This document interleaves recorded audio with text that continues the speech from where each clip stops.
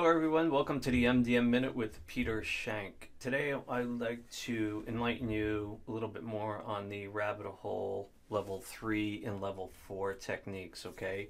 By now, you've probably watched a video, you've programmed some water, and things are actually already happening for you, whether you're conscious or unconscious about it. Um, I did a video level 1 and 2, and then I did an explanation of them, and I'm about to do that now. Levels three and four are extremely deep within the rabbit hole. You'll notice that the the video, you know, to be honest, folks, I, I I work on these videos and I really do them with a light heart. And three and four are very intense, and I you know I worked at you know just creating them a little bit differently instead of me talking blah blah blah. You we have a little bit of you know uh, text overlay, some cool music to kind of get you pumped up to do it.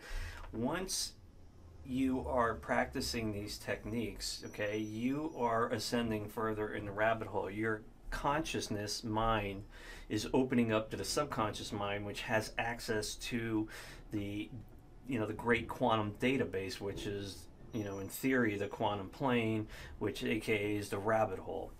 And once you are connected to this place, you know, these ideas of brilliance are born. Information just rolls out.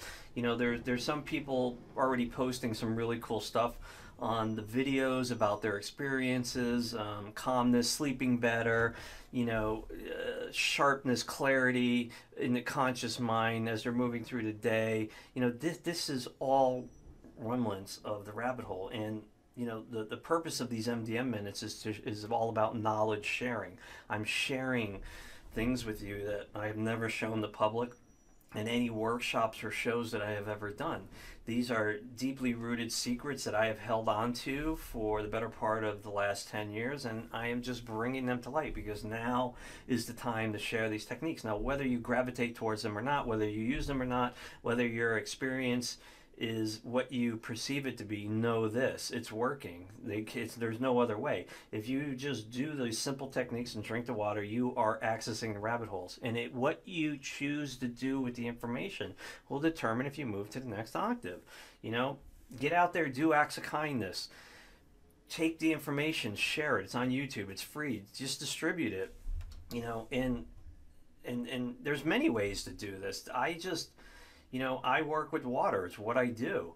And water is the most programmable material on the planet. When you drink it, it goes straight to the, the subconscious mind, opening it up for the acceptance. And the rabbit holes videos are deep stuff.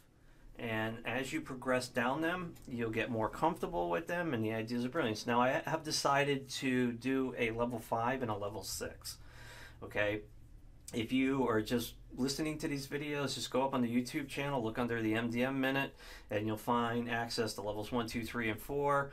There's a video in between 2 and 3, and of course this video is going to be between 4 and 5. Over the next few days I will be doing the the, the fifth level and the sixth level, and, and then that's just going to be about it, folks. And then perhaps in the future I'll show you some different ways of, of doing it. But, you know, take the information, listen to everything that goes on around you after you have done it, okay? I want you to expect nothing, but I want you to anticipate everything. Real clarity there, folks. Make sure you understand that.